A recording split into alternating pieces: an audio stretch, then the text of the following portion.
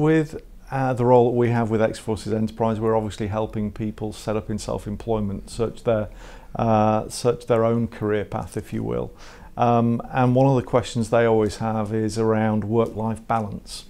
I think to uh, you, you, you can't you can't do it like it's not a process. It, it, Right. you, you've got to enjoy everything, Mm. and it might be that you're one of those people who enjoys work uh, rather more than others. So don't Yeah. feel guilty about that. Yeah. I mean, it's uh, if if for work is like for me, the work is also my hobby. Yeah. Actually, that's that's a- a very good thing. Um, so you, you've obviously worked for the family business, owned the family business, and worked for the family business for a long time, and had many challenges, I assume, along those uh, or during those years.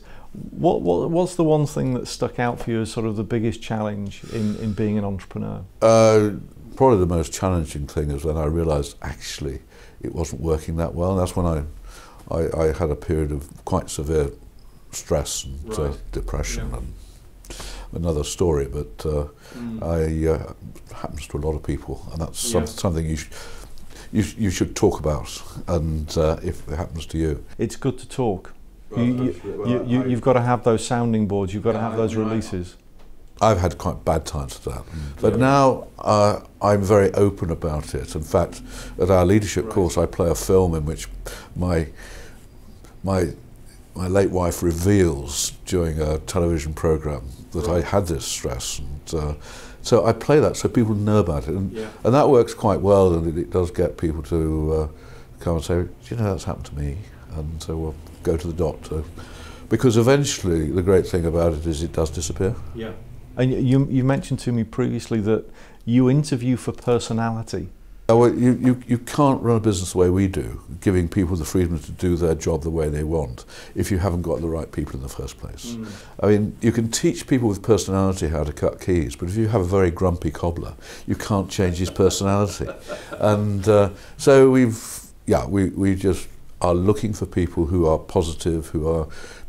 I, I mean, one of the most important things you've got to do in you running a business is to look after your people and make sure they they've got a great workplace. Mm. And the vital thing about a great workplace is to make sure they're working alongside people who love the business as much as they do.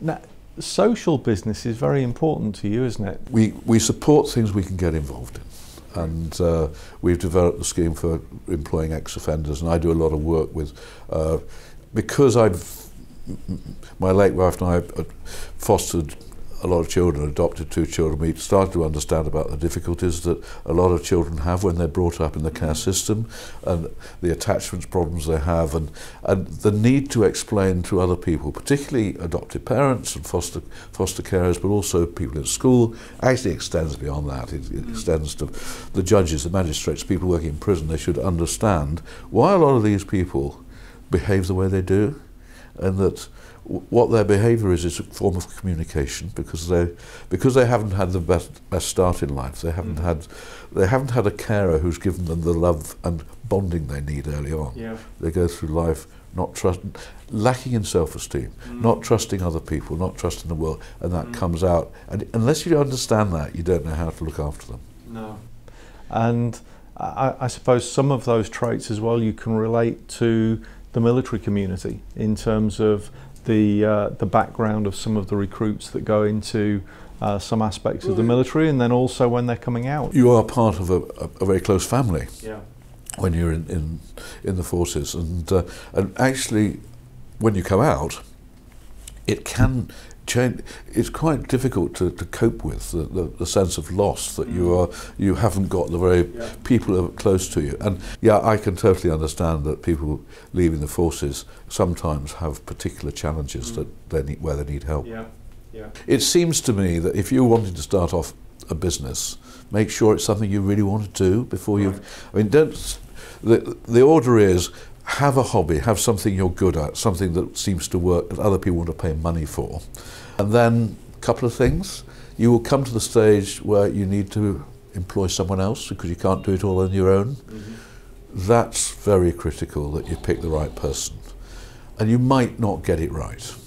if you've got it wrong, change them. And the third advice I'd have is keep looking at your bank account. Make sure that you are in control of the cash. Sir John, thank you very much indeed for your time. I think on that note, we can end it here. Keep control of that cash. Thank you very much indeed.